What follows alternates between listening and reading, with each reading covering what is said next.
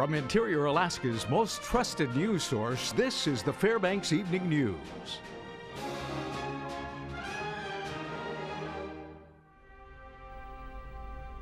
Good evening. Thank you for joining us. Our top story, a North Pole man has been taken back into custody on court orders after a judge says more evidence in his case has come to light. Alan Hughes is charged with 27 counts of sexual abuse of a minor.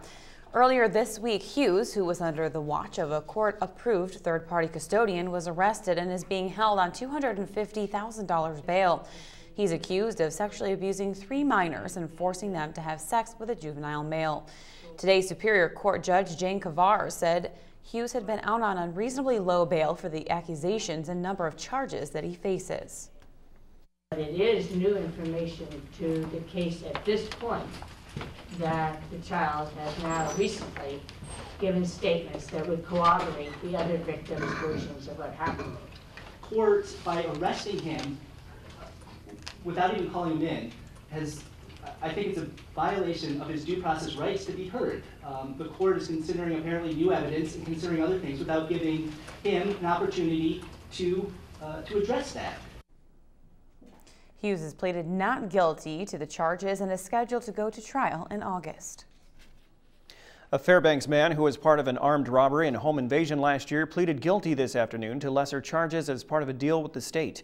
21-year-old Michael Jamar Reynolds pleaded guilty to a single count of second-degree robbery. That is reduced from armed robbery in the first degree and felony theft. Court documents say Reynolds and two other men forced their way into a Marianne Street residence with guns and robbed a female victim and other occupants of thousands of dollars and an iPhone 6. Witnesses said the men wore bandanas to cover their faces and pointed their guns at all the occupants of the home. Police were able to find the stolen iPhone at Reynolds' apartment. However, he claimed he was only the getaway driver. Reynolds' sentencing was left open to the court. A Fairbanks man indicted on two counts of first-degree sexual assault pleaded not guilty to the charges yesterday in Fairbanks Superior Court. 18-year-old Timothy Roselli was charged of having sexual contact with a female without her consent in 2013. He's being held at the Fairbanks Correctional Center on $50,000 bail. Trial for his case is set for September. Green Star of Interior Alaska is no longer providing recycling services for the Tanana Valley State Fair.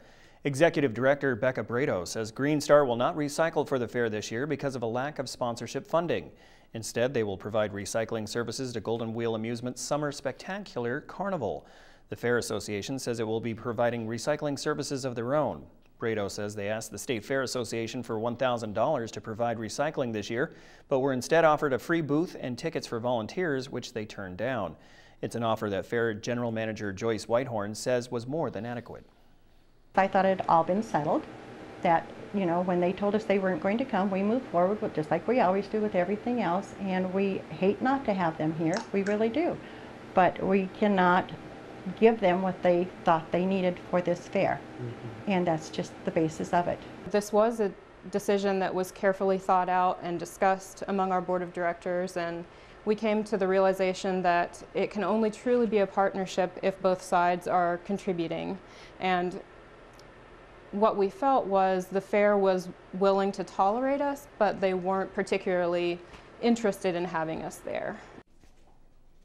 Fire officials are reporting little growth from Alaska wildfires today because of cooler temperatures and rain in several areas. Acres burned in the state remain at 4.7 million, the same number recorded yesterday. The Aggie Creek fire, 30 miles north of Fairbanks, had minimal growth because of rain in the interior. Crews managed to get the blaze up to 42% contained. The rain also minimized growth for the Baker and Hay Slough fires in the interior. The Tetlin Hills fire near Tok also received rain. Alaska Interagency Public Information Officer Dave Schmidt says people should not expect the recent rains to be constant. We keep getting cycles of moist weather coming in with a period of drying and another period of moist weather, another period of drying kind of off and on. And that'll continue for the next few weeks uh, expectation. So we'll just have to wait and see. Like I say, the rain is not a season-ending event by any stretch. So if we do get some dry weather, the fires will kick up and grow.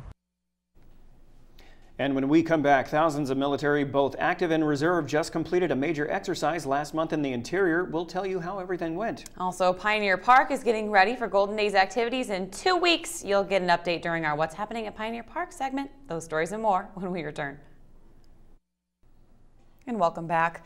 The multi-force Northern Edge exercise wrapped up in Alaska last month. Monty Bowen has details in this week's health military report. Northern Edge 2015 is Alaska's premier joint training exercise. Thousands of airmen, soldiers, sailors, Marines, and Coast Guardsmen from active duty, reserve, and National Guard units are involved. The exercise in Alaska saw over 200 aircraft from every service branch taking part. Nearly every one of them launched every day during the exercise with a full fuel tank. We fuel every single plane on this base on the Air Force side, and without us, they would not be able to take off, not be able to do their missions and train. Uh, 80 feet. 60. 40. 20. If they can't fuel them on the ground, they do it in the air with the KC 135 tankers getting to altitude, going into the back of the aircraft, opening up that window to the sky, and it's a view that not everybody's going to get to see. A very small population is going to get to see. So when I get to see it, it, it feels very special. Tankers are always going to be a part of modern warfare, and uh, today it's more important than ever, and uh, we're, we're very busy. This is Monty Bowen reporting. The military report is brought to you by Stanley Nissan. Innovation for all. When we first introduced you to Fairbanks resident Jenny Gray in February, she was on top of the world. Her son Gordon, a successful Hollywood movie producer, was a day away from releasing his latest movie, McFarland. Seven days after the movie hit theaters, both their worlds came crashing down as Gordon's oldest daughter, Charlotte, was diagnosed with a rare and fatal neurological disorder called late infantile Batten disease. Shortly thereafter, they learned Gordon's youngest daughter, Gwyneth, also had the genetically inherited disorder. Little is known about the disease, and there is no cure. Batten causes developmental regression, seizures, blindness, and dementia. Gordon and his wife, Kristen, have started the Charlotte and Gwyneth Gray Foundation to help fund efforts to cure Batten. They have raised over $1.5 million towards their $10 million goal. If you'd like to donate or learn more about Batten, visit cure slash batten slash dot dot org. Jenny Gray recalls the day she received the devastating news from her son. I got a phone call at 8 o'clock in church, and I, I had lost it. I was melting down. It was, it was just the way it was. So I went out in the hall, and he says, Mom, it's fatal. Why hit the floor? And I said, God, don't let me have him hear me cry. And I had to suck it up. And that was, that was really an emotion I can't explain. All right, I was there earlier and it's time now to check in with our friends again and find out exactly what's happening at Pioneer Park. All right, well, welcome back to another edition of What's Happening at Pioneer Park. We're here with Park Manager Jason Avery. How are you doing, Jason? Man, beautiful sunny day. So beautiful. So tell me, what do you guys got going on this week at the park? I see there's a lot of people here. Well, we've got a lot of people around the park, but what we're really getting ready for is the Golden Days bathtub races that are going to be happening not this Sunday, but the following Sunday uh, here at 3:30 in Gold Rush Town. We've got cash prizes. We're looking for five man and women teams nice. and uh, build a bathtub get in touch with the bag ladies or our park office for all the details. And uh, we're also going to have uh, that day Arthur from uh, from Barnes and Noble's oh, bringing Arthur from Arthur, the PBS. From PBS Kids. PBS Kids. I He's going to be out here, uh, maybe at the bathtub races, walking around the park, and doing a cupcake walk over at More Than Just Cupcakes. So what time did the, the races start at? Races are at 3.30. Arthur will be here at 2 o'clock. Okay, and how can people get signed up for these bathtub races if they want to do it? Absolutely. They can get in touch with us at the park office, uh, on Facebook, call us at the park office, or uh, the bag ladies here in uh, Gold Rush Town. Well, you know, Jason, you know, you, you're doing a lot of talking about this bathtub races thing, so I think you should show me what you're up to. I think we should have a challenge here. I challenge you. Let's, Game on. Here we go. Let's, Let's do, it. do it. All right, are you guys ready? We're ready. Go! Go, go, go! Got him! Don't kill me, gentlemen.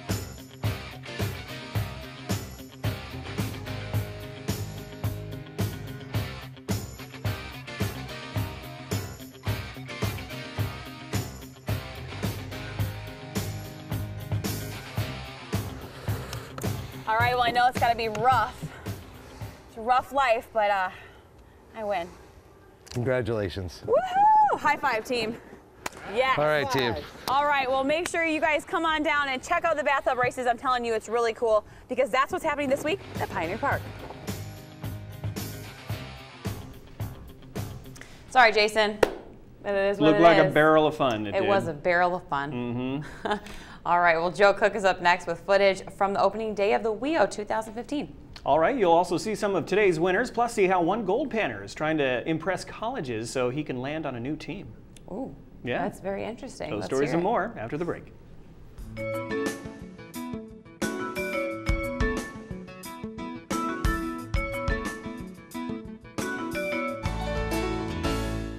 Welcome back Interior Alaska. Joe Cook here with your local Wednesday Sportscast. Today is the opening day of the 2015 World Eskimo Indian Olympic Games. KTVF Sports was there to capture some of this afternoon's action. WEIO competitors got started a little after 11 a.m. at the Carlson Center for the 55th edition of the games with the kneel jump and toe kick. Both events simulate people navigating ice breakups. We start with the kneel jump event. In the women's division, Fairbanks' own Amber Vasca Karpluk continues her dominance in the event. Her second jump of 53 and three quarter inches was good enough to win her fourth straight kneel jump title. The first event of WEIO 2015 was the toe kick. Athletes have to jump and tap the stick backwards with both feet and the stick and, and land their landings as well. Autumn Ridley out of Anchorage won this year's event. She nailed a jump of 56 inches to win it. On the men's side, Nick Hansen of Unalakleet, who recently made an appearance on American Ninja Warrior, won gold today with a jump of 7 feet 10 inches. This finish was a flashback to 2013 when both Ridley and Hansen won this same event. Well, I didn't even hit 60, and that's like below my PR. My PR is like 64 in a competition. I just wanted to hit 60, and I went up four inches each time just because I didn't want to waste too much energy. it's all right that it's this group because they're so elite and everybody was so elite so it was a lot of fun but having that having that community and everybody helping out like Forrest and Phil everybody helping us out and each other pushing each other that's necessary because if we didn't have each other to push each other then we wouldn't go our distances you know The Alaska Goldpanners were rained out on Tuesday night. They have a doubleheader today against the Bucks. Speaking of rain, a storm has been brewing for one Goldpanner. In a sense, Alaska catcher and outfielder Brian Lees, a sophomore at the University of Akron, is no longer with the Zips. Why? Last Friday, the University of Akron shuttered the baseball program due to budget cuts. School also cut over 200 jobs in an effort to save $40 million. Lees scored 12 runs and hit 292 in 55 games this past season for the Zips, who made it to the Mid-American Conference semifinals. Lees out of Brunswick, Ohio, suddenly playing for his baseball career as each game is more or less an audition for a college team. So far, Lees is hitting 273 for the Goldpanners and is second on the team in hits with 27 and doubles with five. He also has seven RBIs. Recently, he's gained interest from Moorhead State, Georgia Southern, and the University of St. Louis. For now, he's just trying to make the most of each game, each at bat. I'm just trying to keep a clear head, um, try to put that aside uh, when I get out on the field, just kind of clear my head um, and just play the game. It's been hard in the past few days. Obviously, just dropped a bomb on us like that, but uh, at this point, just moving forward. Obviously, right now it's a little more critical. Maybe a coach sees me play a good game, but uh, I've been trying to do that all summer, so nothing really has changed. Just playing hard. At this point, I don't really have too many options. Uh, it's not like uh, I was a senior in high school and could play all my cards, but um, just staying in contact with them and uh, finding what school is the best for me. Senior athletes from the interior are leading the way for Team Alaska at the National Senior Games in Minneapolis, Minnesota. 22 Alaskans are participating and 16 are from the interior. Alaska has earned 18 medals, which are the most ever for the 49th state in the senior games. Alaska has three gold, six silver, and nine bronze medals. Jane Langford of Fairbanks finished her games with a gold, silver, and bronze medal to go along with four fourth place finishes. Diane Darnall and Andrea Gelvin teamed up for doubles in table tennis and won the bronze medal on Sunday. The 2015 National Senior Games wraps up tomorrow. Then August 7th is the Alaska International Senior Games starting right here in Fairbanks. Lastly, don't forget about a couple of upcoming events for this weekend. You can still sign up for the Angel Creek 50 Miler Ultra Marathon. The race starts this Saturday at the Compost Trailhead, mile 29.9 Chena Hot Springs Road at 4 a.m. There's also a 6 a.m. start. The race ends at the Chena Hot Springs Resort. Over 25 people are expected to participate. For more info, visit angelcreek50.org. This Sunday will be the Mush for Love Festival. The festival will feature food, beer, live music, and a few comedic acts. There will also be silent and live auctions. It's for ages 21 and up, and it's $30. All proceeds will go to mushers and dog teams affected by wildfires. Mush for Love starts at 2 o'clock this Sunday at the Dog Mushers Hall on Farmers Loop Road. And that'll do it for sports tonight. Mike Schultz is up next with your full weather forecast, and we'll catch you next time.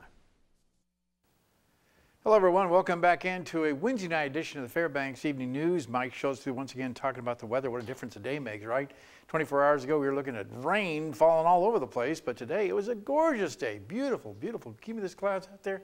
And it looks like nice weather for tomorrow, too. We'll talk about that just a little bit. Hey, look at our uh, picture tonight. This was sent in by Keegan McAfee. He was at the Aggie Creek uh, fire uh, position in there, there for where all the guys camp and get ready to fight the fire. And you see the color of the sky was pretty amazing there. Beautiful pinks and purples. And the good news is that rain, I'm sure, helped out quite a bit. And again, photos at ktvf11.com. If you have one you want to share, by all means, send it to that address. 72 right now. Uh, 71 actually has dropped a degree. They high today 72. The record high 93. That was set in 1993, a hot day that day. And the record low 40 in 1959. Your sunrise and sunset, just about 20 hours and 9 minutes of daylight. That's a loss of seven minutes from yesterday. On the satellite radar, a lot of moisture moving over the southern half of the state. That's not going to move it any further than the Alaska Range because it's coming up from the wrong direction, coming up in the south. Is going to give folks in rain, uh, folks in Anchorage, quite a bit of rainfall, and the rain continues to fall over southeast Alaska. In fact, our latest map is showing once again that the rain is falling around Juneau. It's just showers around Ketchikan, also showers around Kodiak, 53 degrees there, mainly cloudy skies at Anchorage. Cold Bay, rainy conditions there, 53. And then up and down the west coast, anywhere from partly cloudy to cloudy skies from Bethel right on up to uh, Nome, it was 61 there. Barrow, 39 degrees and cloudy skies, and Fort Yukon, lots of sunshine and 66. Lower 48 weather looks like this, and again, we're talking about close to 80 degrees around the Seattle area. 100 degree temperatures for Las Vegas and Phoenix. Not quite as warm as it was yesterday in Denver, but still 87 degrees, 90 in Salt Lake City. Dallas 96 degrees, uh, Minneapolis uh, partly cloudy skies at 81. Things have calmed down considerably from yesterday. As you can see, St. Louis at 87 degrees. New Orleans up to 95, very hot and humid there, and 88 to uh, Washington, D.C., New York at 81. On the satellite and radar, Again, the high pressure continues to sit across Texas, helping to spin all that moisture across and helping to uh, fire up those thunderstorms in the afternoon and evening hours, and more of them exploding there. But out to the west, things look pretty darn good. Those basically dry conditions. Here's what the stormy pattern looks like for Thursday and Friday. More rounds of thunderstorms moving around the top part of that high pressure ridge, while the heat will continue very strong across much of the southern half of the lower 48. And the jet stream is changing now. As you can see, it's taking a pretty good dip down to the south across much of the western half of the country, while the, uh, like I said, the west, the eastern half continues under sweltering heat. Well, back to Alaska for tomorrow. The northern sections looks like this: mostly sunny skies at Barrow, showers likely for Nome and Fort Yukon. Here in the interior, looking pretty good. Sunshine with scattered clouds expected at Healy, Delta Junction, and Fairbanks, and maybe an outside chance of some smoke. That's in the forecast too. Over southeast Alaska, cloudy skies in Juneau, just a few showers for Ketchikan, so the rain moving out of that area. Over the southwest part of the state, just the opposite. Periods of rain at Cold Bay and Kodiak with showers for Bethel. So wet forecast there. And more rain expected around the Anchorage Bowl, likely at Anchorage. Heavy rain for Homer and just showers in the Valdez region. Here's your forecast for the remainder of the night. We're looking at uh, partly cloudy skies early, then more clouds by morning, 52 degrees the overnight low. Tomorrow's forecast, 72, scattered clouds, but still some smoke is possible. And the five-day outlook, as you can see here, temperatures actually cooling down over the weekend now. Maybe a chance of showers on Friday. And then again, a chance for early next week uh, on the uh, overall five-day outlook. As you can see, temperatures cooling down for the overnight lows, uh, and then warming back up again to the mid 50s. So all in all, not a bad forecast, especially for the weekend coming up. Not bad, but it has been considerably cooler, I think. It's going to get a little cooler too because we're we're not getting that strong warm flow from the south anymore. So going to get back down to what we should be this time of year. Not bad, and definitely not bad for the fires. So oh yeah, yeah, that rain them. yesterday had to help because there's a lot of rain yes. all over the place yesterday, so that really had to help them out a lot. Nice. Okay, thank you guys. That will wrap up this edition of the Fairbanks Evening News. We are glad you could join us. Well, tonight on NBC Nightly News, Amazon slashed their prices today for Prime Day on the eve of their 20th birthday. Time for shopping. Lester Holt will have more about that. All right, join us here six days a week at 6 and 11 or online anytime at webcenter11.com. From all of us here at the News Center, have a great night. Good night.